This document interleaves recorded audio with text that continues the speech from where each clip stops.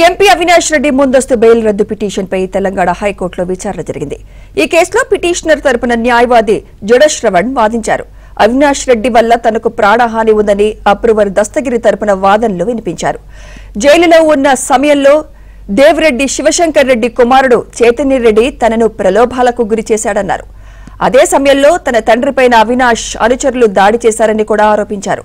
అవినాష్ ప్రభావవంతమైన వ్యక్తిని అతని బెయిల్ వెంటనే రద్దు చేయాలని పిటిషనర్ తరపు న్యాయవాది జడశ్రవణ్ వాదించారు. మరోవైపు దస్తగిరికి ప్రాణహాని ఉందని సిబిఐ తరపు న్యాయవాది తెలిపారు. ఇరు వర్గాల వాదనలు విన్న న్యాయస్థానం తదుపరి విచారణ ఈ నెల పదిహేనుకి వాయిదా వేసింది. ఇదే అంశంపై మరింత సమాచారం మా ప్రతినిధి ప్రవీణ్ అందిస్తారు. ప్రవీణ్. ప్రవీణ్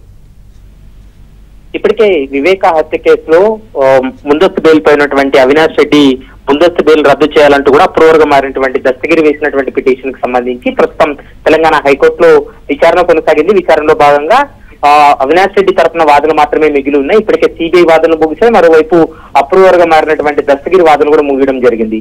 అప్రూవర్ దస్తగిరి ఇచ్చినటువంటి స్టేట్మెంట్ కావచ్చు తర్వాత అతను అప్రూవర్గా మారిన తర్వాత అతని కుటుంబ సభ్యులకు ప్రాణహాని ఉందని మరోవైపు తను జైలుకు వెళ్ళినటువంటి సమయంలో తన తండ్రిని విచక్షణ రహితంగా అవినాష్ రెడ్డి అనుచరులు కావచ్చు దేవిరెడ్డి శివశంకర్ రెడ్డి అనుచరులు దాడి చేశారు కాబట్టి తనకు ప్రాణహాని ఉంది. అతని వల్ల ప్రాణహాని ఉంది కాబట్టి ముందస్తు బెయిల్ రద్దు చేయాలని కోరుతూ వారి వాదనలు కూడా వినిపించడం జరిగింది. మరోవైపు సిబిఐ కూడా తన వాదనలు వినిపించింది. ఆ దస్తగిరి చెప్పినట్లు తనకు ప్రాణహాని ఉంది కాబట్టి అవినాష్ రెడ్డి ముందస్తు బెయిల్ను రద్దు చేయాలంటూ కూడా సిబిఐ తన వాదనలు వినిపించినటువంటి సమయంలో తెలంగాణ హైకోర్టు కలగజేసుకొని మీరు దస్తగిరికి ప్రాణహాని ఉందని ఏ విధంగా చెప్తారు? ఎందుకంటే తనకు తెలంగాణ హైకోర్టులో ముందస్తు బెయిల్ వచ్చినప్పుడు మీరు సుప్రీంకోర్టులో ఎందుకు ఛాలెంజ్ చేయలేదనేటువంటి అంశాన్ని సిబిఐని సూటిగా ప్రశ్నించింది. అయితే సిబిఐ మాత్రం మేము పిటిషన్ వేసే లోపే వివేక కూతురు సునీత సుప్రీంకోర్టుకి వెళ్ళి తను పిటిషన్ దాఖలు చేసింది. అందులో మేము ఇంప్లీడ్ అయ్యాం. దాంట్లో మేము కౌంటర్ దాఖలు చేశామనేటువంటి అంశాన్ని కోర్టు ముందు కూడా చెప్పడం జరిగింది.